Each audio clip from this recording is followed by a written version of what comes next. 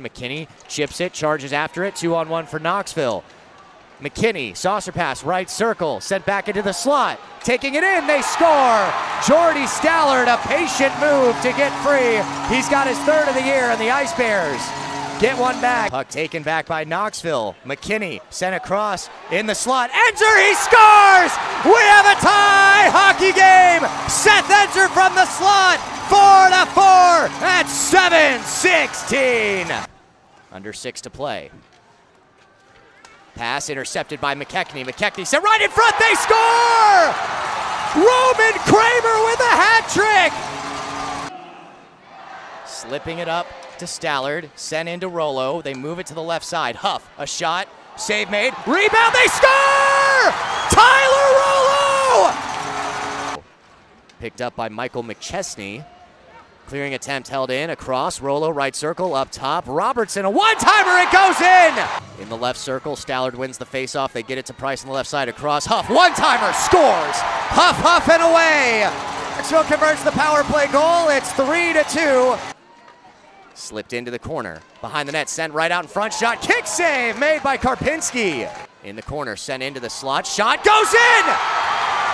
An awkward tip by Jordy Stallard and it popped up over the left shoulder of Boyko.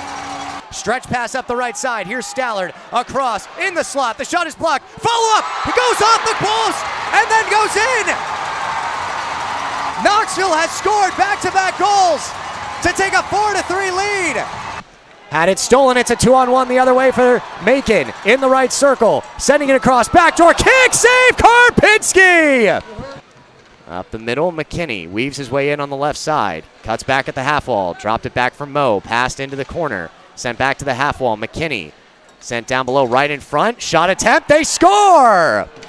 Cole McKechnie with his first of the year off the pass from Dawson McKinney.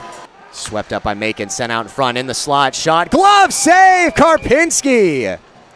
But now a three on two the other way for the Mayhem. Sent into the Knoxville zone. Taken away in the slot. Shot blocker. Save Karpinski. Now a two on one for Macon.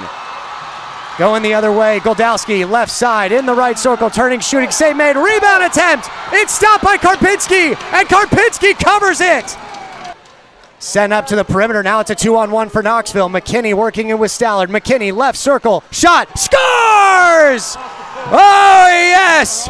An overtime game winner for Dawson McKinney, his first as an Ice Bear. And Knoxville rallies for the third consecutive game, and Knoxville takes a 3 2 win over Macon in overtime.